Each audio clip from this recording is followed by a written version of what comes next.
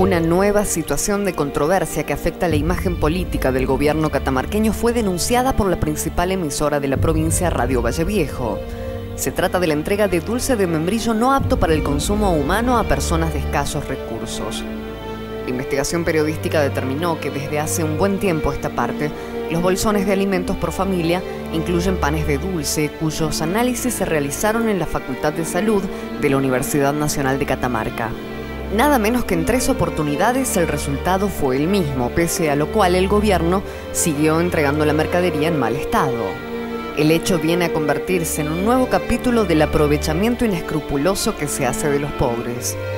Meses atrás, alimentos en buen estado, que estaban destinados a los necesitados, fueron entregados a amigos del gobierno que poseían criaderos de chanchos. La situación determinó que el gobernador Brizuela del Moral se viera obligado a echar del gobierno a la ministra de Desarrollo Social y estrecha colaboradora suya, Marta Torres de Mancilla.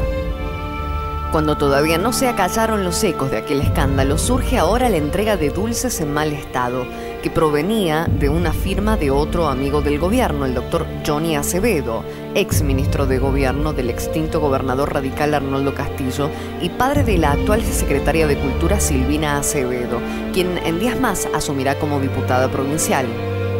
Como puede apreciarse con los radicales que gobiernan la provincia desde hace casi 20 años, las prácticas del clientelismo y amiguismo se mantienen intactas.